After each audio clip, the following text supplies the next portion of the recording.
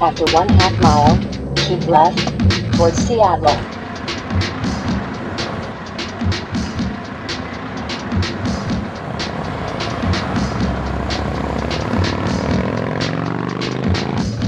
Right turn ahead.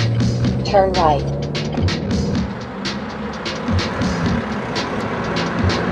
After 250 feet, turn right, Southeast Water Avenue. Keep left.